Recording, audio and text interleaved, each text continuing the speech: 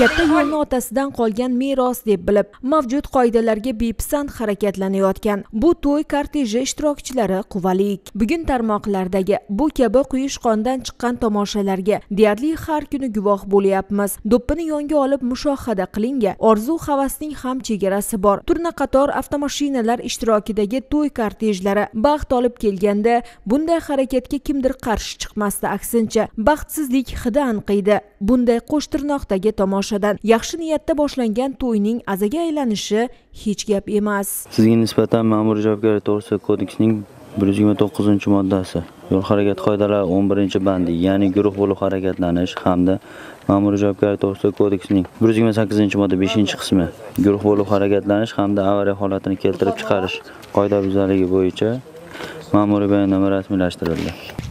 O'rtamiz to'ydi zaksga chiquvdik guruh bo'lib yuruvdik qilgan ishimdan afsus bu ish noto'g'ri ekan. Quva tumanidagi xonadonlardan birida boshlangan to'y tomoshasining dovrug'i dunyoga yoyildi. Tarmoqlarda tarqalgan to'y kortejining betartib harakati bilan ushbu harakatlarni sodir etgan haydovchilar va transport vositalarini aniqlash esa qiyin kechgani yo'q. Ularga nisbatan tegishli tartibda ma'muriy bayonnomalar ham rasmiylashtirildi. Shunaqangi drift qilishlar orqasidan shunaqangi avariya holatlari kelib chiqyaptiki o'lim bilan bog'liq ya'ni oxiri yakuni o'lim bilan tugayapti.